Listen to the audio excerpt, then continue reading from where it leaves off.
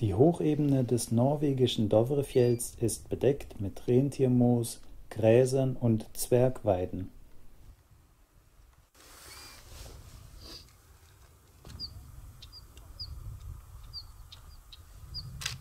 Der Blick mag täuschen, aber zu den nächsten Verwandten der Moschusochsen zählt man Schafe und Gämse.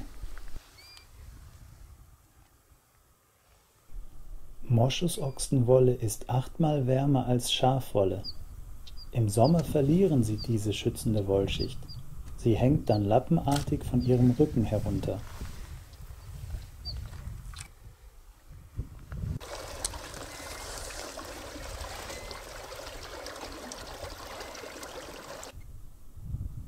Die vielen Hochmoore und feuchten Grasflächen sind auch Heimat des hier häufig anzutreffenden Goldregenpfeifers.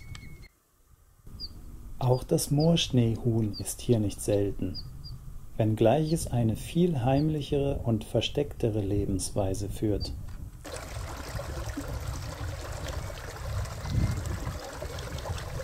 Die jungen Kälber fühlen sich in der Nähe ihrer Mutter sicher und können mehrere Jahre unter ihrer Obhut bleiben. Die bis zu 300 Kilogramm schweren Kühe haben in dem unwegsamen Gelände Schwierigkeiten, ihren Jungen zu folgen.